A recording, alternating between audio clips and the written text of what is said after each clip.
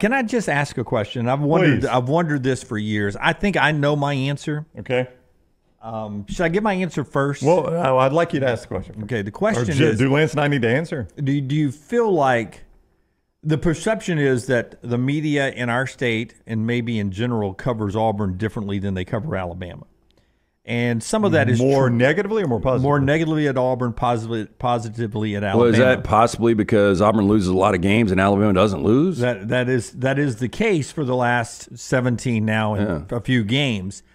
But if Auburn fans would remember back when Alabama was struggling so much, I do think there was a lot of negative media coverage of Alabama. oh, I got killed for calling Alabama University of Average for a long time. Yeah. But they were. They were U of A. They were very that's- average, weren't they? And then they even line. got That's- below average. Yeah, and, and and so that's what I think it is. I mean, it does seem like um, I call it micro freezing is what we're doing right now. Micro freezing. We are micro freezing. We are taking everything Hugh Freeze says and putting it under a microscope. So I'm coining the phrase we're micro freezing okay. right now. Well, that's what happens when you Well, lose. I just though. think I think we're in society. You know, when you see things that um, are negative, things that struggle. Um, that's what it is. LT. yeah, I mean, You're- you're, dead on. That's my Yeah, point. no, is if you no. if there's blood in the water, if something, it's the easiest thing to cover is somebody that's struggling, right? Oh, no doubt, and no doubt, and and like the only negatives that you've had with Alabama and Nick Saban,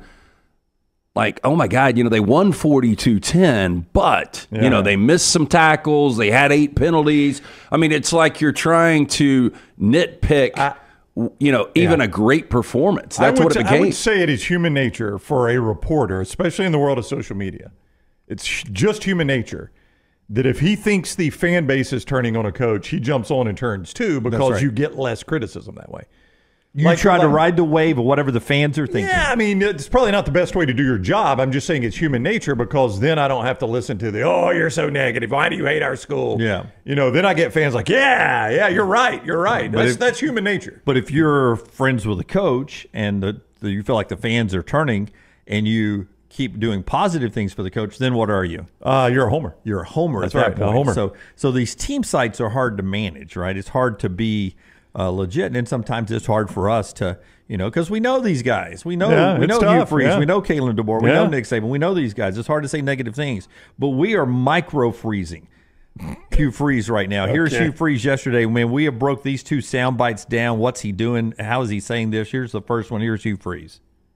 our fan base has done their part, um, which makes not being five and zero very hard to swallow. When we certainly had our chances to to do that. Um, I just my ask is to stick with us through the growing pains and uh, support our guys and efforts and our recruiting efforts. Uh, because the results are going to come, we're not that far off, and um, hope the 25 recruiting class sees that and knows they have a chance to come in and immediately impact this program, just like the 24 class is currently doing. Um, but building does take time. Um, I think you all are aware of what we inherited. Our AD has done a marvelous job of explaining that, and he did to me before I took the job with um, the um, previous recruiting classes not being um, what you know you need to compete at a high high level, and 57 transfers out um, in the previous three years before my arrival.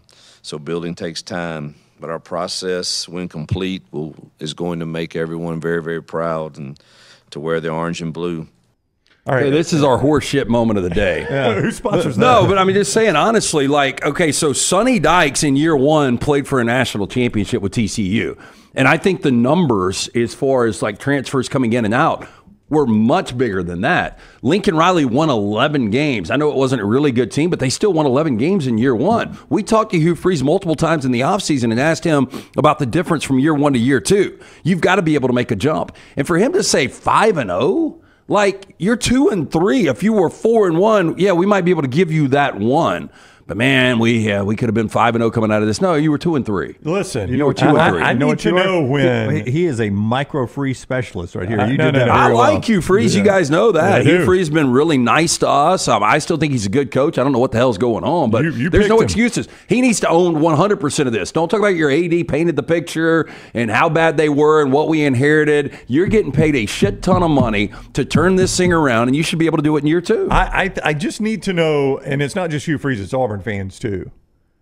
When is Bryan Harsin off the hook on this? Because there is a lot of stuff that gets blamed on Bryan Harsin, and some of it might be true.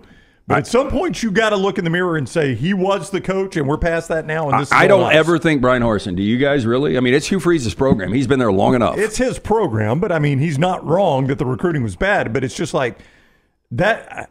So that let me ask you Auburn this, Fans so- have used the whole Bryan Harsin thing for quite a while to excuse Hugh Freeze. Now I it think hasn't Auburn been fa- that long, dude. It's I mean, it's been a year let me and a a- few games. in conference, uh, similar similar situation. How bad was Tennessee when Jeremy Pruitt left it for Josh Heupel? Oh, it was bad. It was really bad. I mean, wouldn't you say it was equally as bad as Harsin? What did Josh Heupel do? He went seven and six to eleven and two. Why? He had the right Because he quarterback. went and got Hendon Hooker. Uh, yeah, he transfer wouldn't got. Hendon Hooker. Yeah. Yeah. but you know what? I mean, Hugh And I Freeze had every opportunity to get you know what by, he wanted. By the way, I remember when he got Hendon Hooker done, I was like, "You think that guy's going to start at Tennessee?" I really did because know. of what I saw at Virginia Tech. Yeah, right? but but he had one good year there.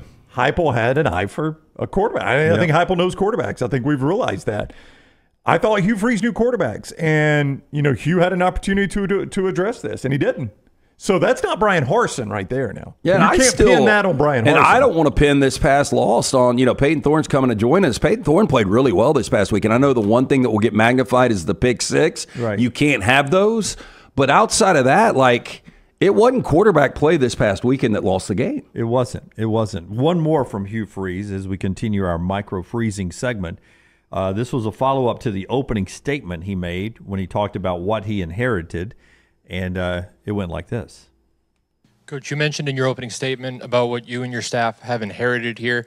Um, in year two, was the roster so barren and was the previous regime's job so poor in recruiting that fans shouldn't expect more than a two and three start when you have five home games to begin the year? Yeah, I, I, I won't comment on what happened before I was here. Um, the roster was what it was. Everybody can make their own determination on that, on how many people left, and the and the recruiting rankings and what was brought in. So you, you can look at that and make your own determination. Should the fans expect more than a two and three start? Absolutely.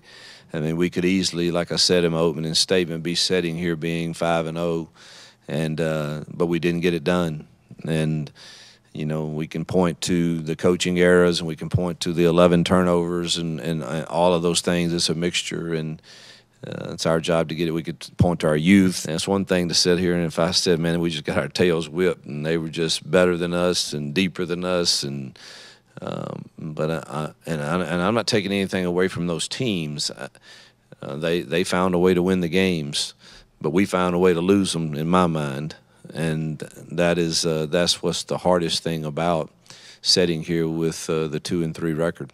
And that's on him. Like Mike Shula's final year, that 2006 team that Kines took over, what, six and seven? There was a lot of cancers in that locker room. Saban comes in, first year was rocky, second year, undefeated in the regular season, on to the SEC championship. This is all on Hugh Freeze. All of it. Got to flip it around, and uh, the work's in process. I'll go back to SEC media days when we had Brandon Marcello um, sitting with us, and I think it was there was one other person that had given us the information that, um, but I can't say his name because it was a source at that point. Uh, but he was not on set; he didn't say it on camera. Who was telling us how Hugh was not spending all his NIL money that was available.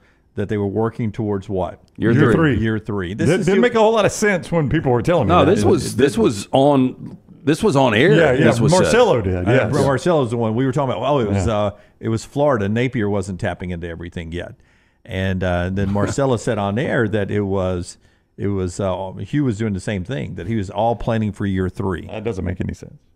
Yeah, I, I mean, said, I said it then. I said that doesn't make a whole Yeah, lot of sense. to Napier's not going to be around now. So I mean, you you played with that. You got burnt. Napier's going to be gone. And look, I don't think Auburn's in a situation. And look, this is way premature, and I think Hugh Freeze is fine, should be, but he's got to take the the the brunt of the responsibility here.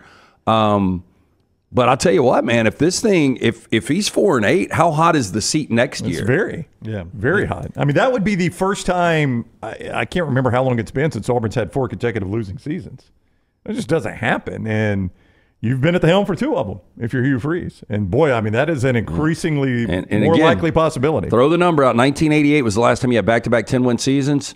There's a chance Missouri's about to have back to back 10 win seasons. Um, I will tell you, our friends at MyBookie has a uh, a daunting uh, road challenge for Auburn ahead. MyBookie.ag, Brownie. Uh, last I checked, it was 24 and a half. I did not play it in upset alert. We'll get to that at 10:30 Central Time today in a little over an hour. But um, Auburn inside 24 and a half is a is a play for me this weekend. Are you like Auburn inside the 24? Not to win the game. Inside 24 and a half. I would hope not, not to win. Inside 24 and a half. Okay. Have fun with that. All right. Uh, Jim will explain to us why. Will you explain to us why? Uh, it's just a gut feeling that this football team plays a little, I mean, competitive within three touchdowns. Yeah, it's at Georgia.